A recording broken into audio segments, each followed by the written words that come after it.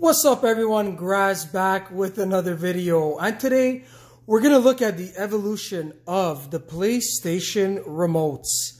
So the reason why I only have three remotes that are out, notably the PS3 remote, the PS4 and obviously the PS5, I find that the PS3 remote was actually just more of, um, I would say, of evolution from the PS1 and the PS2 controller versus it being a revolution.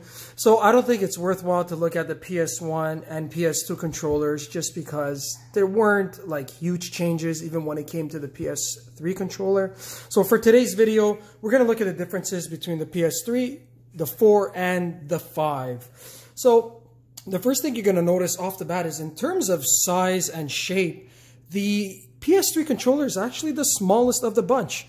So it is uh, the smaller of the bunch. And, uh, and in terms of even when you hold it in your hands, you could actually feel that it's missing a little bit at the bottom here. There's a decent amount of gap uh, at the bottom of the palm uh, that would have allowed for a lot a better grip. And the other thing as well is the joysticks. The actual joysticks, you guys can notice from the PS4 to the PS5 that this one here doesn't have that indentation.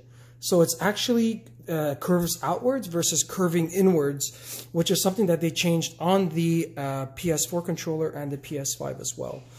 Uh, apart from that, the PS3 controller, this is the first time that uh, they had introduced what they call the six axes, uh, and they called it the DualShock 3. So it was the Sixaxis uh, controller, and what was nice about it is it had included what they call a, a gyroscope and an accelerometer so it can actually track in space where the uh, controller was uh, situated. The other difference, if we turn around here, and actually I'll, after that I'll, I'll, compare all three together, is this one was porting that standard uh, USB, uh, I would say micro USB for, uh, for connection, which was then changed, uh, if we take a look actually to the PS4 controller, they made it a little bit smaller when again, when we look at the PS5, they all switched over to Type C. So right now on the PS5, it is a Type C uh, connector. But in terms of the face itself, um, I mean, the biggest difference is obviously you can look in the shape. So out of all of them, the PS5 controller is actually the biggest one. So uh, it's the biggest and obviously the heaviest, being that the PS5 does have haptic feedbacks as well as adaptive triggers. The PS5 controller does have uh, is sporting a 1,500 milliamp hour uh, battery, which was an upgrade from the PS4 controller, which was just a 1,000 uh, milliamp uh, battery. So apart from that, I mean, the analog, the uh, actually the D-pad, uh, they are a little bit smaller on the uh, PS3. Uh, you do still have your PS button in the middle, which is very similar to the one on the PS4. On the PS5, they did change the shape and the look of it.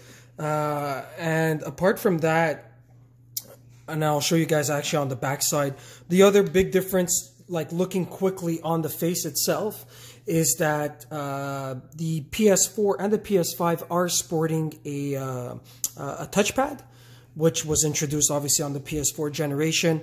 The PS3 does not have that touchpad.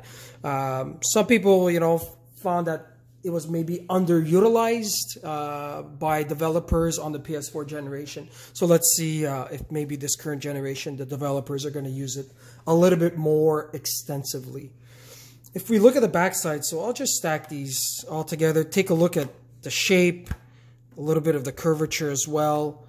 So I got pretty much all the controllers uh, side by side.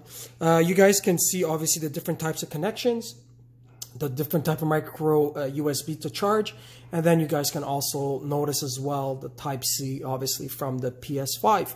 You can also notice the triggers. So big difference from the PS, well, I would say the PS3 era the triggers are tiny.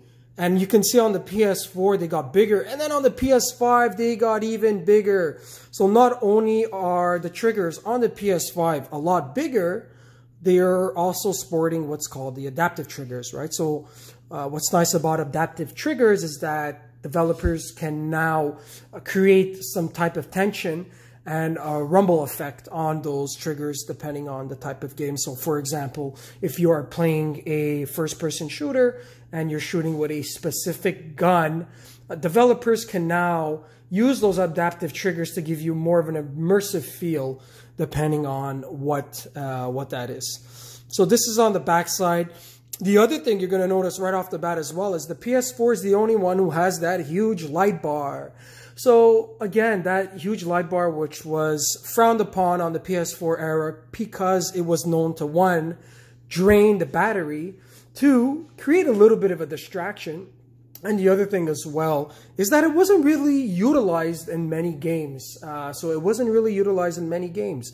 Um, I think the best use of the PS4 controller was actually for PSVR, for virtual reality where they're using the light bar to track it in space with the, the PlayStation camera.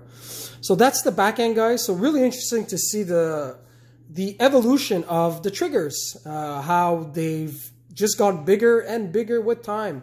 And you guys can also see the shape of, uh, of the system. So that's on the front end. Maybe what we can do now is take a look at the bottom side. So nothing I mean, nothing too, too major.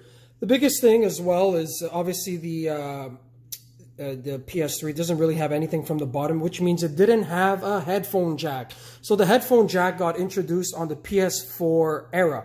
Uh, it did not exist on the PlayStation 3. So that's where they introduced the, the uh, headphone jack and it's still sporting the same type of uh, 3.5 millimeter jack on the PS5. The biggest difference is uh, on this one here is that now there's a microphone. So if I re put these joysticks back down, let me just lay them out so you guys can see them. So the PS5 now actually has a microphone. So there's this little button at the bottom which lets you mute and unmute the uh, the actual uh, the actual microphone. The other thing you're going to notice is the PS4 and PS5 do sport a built-in microphone, which the PS3 did not. So I would say that jumping from the PS3 to the PS4 generation, that was more of a uh, revolution that was more of a revolution. And I would even say sporting to the PS5 due to the haptic feedback and the adaptive triggers. That was also a major revolution in the way the games feel and play. So Sony uh, has done a really good job, I find, uh, you know, trying to keep things fresh when it comes to the controllers. Uh, they're really, really great one thing as well I forgot to mention is actually the share and uh, button, right? So the share button started to come out on the PS4, which obviously we did keep it on the PS5. But then again, something that did not uh, exist on the PS3. Of course, that's due to hardware limitations and power. Although the PS3 was sporting what was considered at the time uh, one of the most powerful CPUs and GPUs, uh, the infamous IBM Cell processor, which didn't do very well for the simple reason that it was very hard to develop on, right? It was very, very hard to develop on. Um, so that generation didn't do as well versus the PS4, which then changed off to the x86 architecture uh, due to Mark Cerny uh, so you know, really taking Sony into a different uh, different direction. So that's pretty much it, guys, for uh, the remote comparison. When you really look at the PS3, you start to realize, obviously, it is dated hardware, but how much we've evolved uh, on the controller side. And you know, what I'm really interested to know is what is what lies in the future. I mean, the Sony PlayStation 5 has everything you have a built-in mic. You got a share button. You have your touchscreen. You got your adaptive triggers. You have your Type-C connection. You have your haptic feedback. So uh, I'm really interested to see what is Sony going to do next. Uh, do you guys think that Sony's going to keep the DualSense 5 for another gaming uh, uh, generation? Just because of how good it is and how amazing it feels. So that's it, guys, for today like, subscribe. It really helps the channel. Leave some comments. And as always, thank you for watching. Have yourself a great day. Have yourself a great night. and stay safe out there. Peace.